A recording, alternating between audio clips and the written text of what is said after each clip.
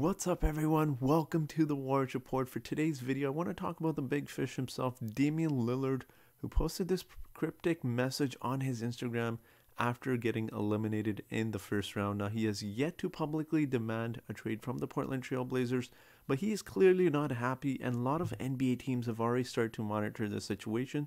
So, could the Raptors be one of those teams that pursue Damian Lillard in a trade? Now, I know a lot of fans have already stated this is a much different situation than Kawhi Leonard, who had only one year left on his deal and he was in- injured the entire season. But if there's one man out there who can convince a team to give up a good player and not give up his entire roster, that is Masai Ujiri. Masai Ujiri, I'm using this picture here because we know what he was demanding for Kyle Lowry, and a lot of fans question as to whether or not his demand was a little bit too high of what he wanted back for Kyle Lowry. But now that Miami Heat have been eliminated from the playoffs, you see what they could have gotten in Kyle Lowry, and maybe Masai Ujiri wasn't wrong to ask for Tyler Herro. Now Masai Ujiri has done this before, so I think I think he's capable of doing it, but I do want to throw four trade proposals for today's video. I also want to touch on Jusuf Nurkic as well, who I will include in my four trades of Raptors potentially getting him. Now, I know we have Khem Birch and Freddie Gillespie, and a lot of fans seem to be happy with that. But let's not forget, we do need a big body in there. And if that's not evident, or I mean, Robin Lopez scored 20 points towards the end of the season when we had Khem Birch, Freddie Gillespie, or it seemed like anyone trying to guard him, and he's not known as an offensive player. So despite having those two, I still feel like we need a seven foot center in there. Jusuf Nurkic could be one of those players. He's a good rebounder. He can block shots and he's an okay defender. He's not the greatest of defenders, but he can score points as well. So for today's video, let's get into those four trades. But before we do that, you know the deal, guys. Give this video a thumbs up as it helps reach more basketball fans across YouTube.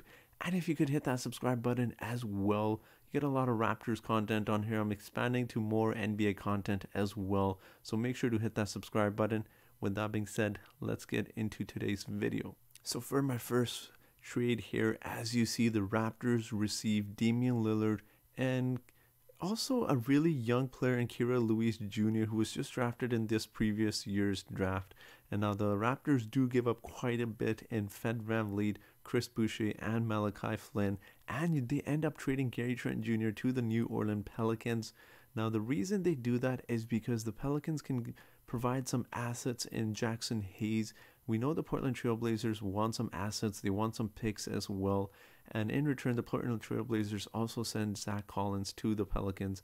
Now, the Raptors are likely going to have to include a few picks. You don't see that on the trade here, but probably this year's first round pick and maybe a future first round pick as well. And maybe a couple second round picks you can throw in there as well.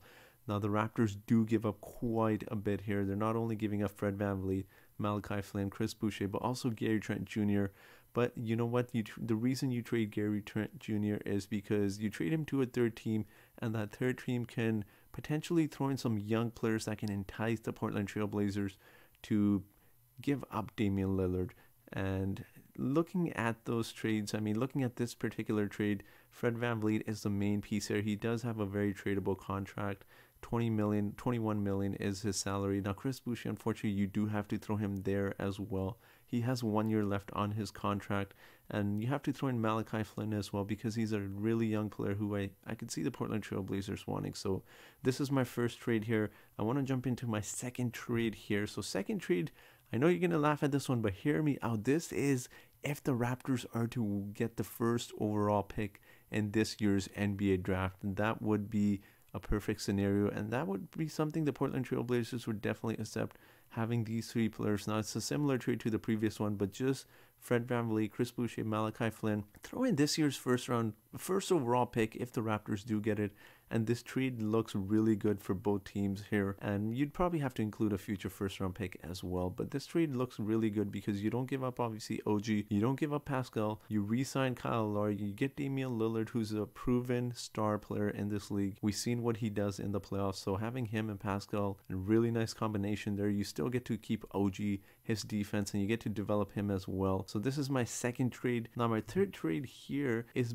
a three three way trade again. We send Gary Trent Jr. unfortunately to the 76ers who in return send Matisse Thybulle. And as I've mentioned earlier, we need a third team involved to give up some prospects because the Raptors don't have that many on their roster currently. They give up Matisse Thybulle, which entices the Portland Trailblazers again.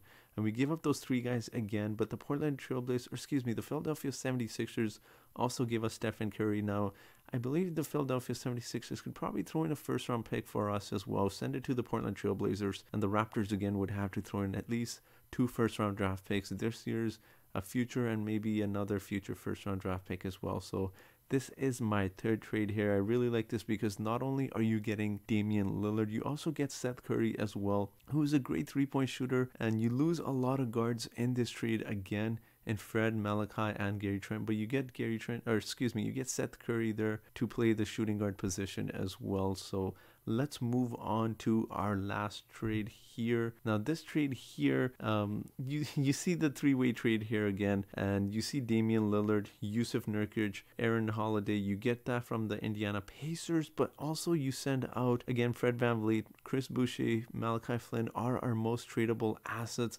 You also accept Aaron Baynes' player option, or excuse me, team option. You accept that, send him on his way to the Indiana Pacers, and you send Gary Trent Jr. again. Now, the Pacers do end up sending Miles Turner to the Portland Trailblazers. So they get their center there.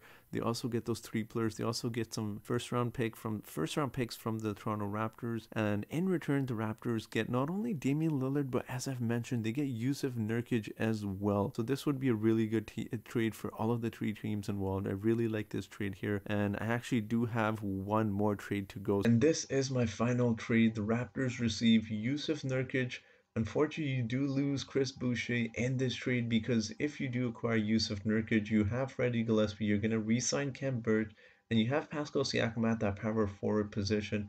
The front court all of a sudden looks very crowded. Unfortunately, Chris Boucher is someone the Portland Trail Blazers could use. They could use his three-point shooting, and you throw in Aaron Baynes as well. You accept his team option again, have him as salary filler, send him to the Portland Trail Blazers, and those would be the two players going, and we receive Jusuf Nurkic, who can really help us. I really believe he can help the Raptors in tremendously in the rebounding aspect, but also just that big body in the paint. And you know what? If he doesn't work out for certain matchups, you have Khem Birch, who is a more versatile defender. It gives you multiple options to go at that center position. So I really feel like Jusuf Nurkic would be a decent fit with the Raptors. Now, I do want to ask you guys, what do you guys think of this trade? You can be honest. If you don't like this trade, let me know in the comment section. If you do like it, let me know in the comment section. And again, guys, don't forget to like this video, subscribe as well. And thank you so much for watching. Have a great day.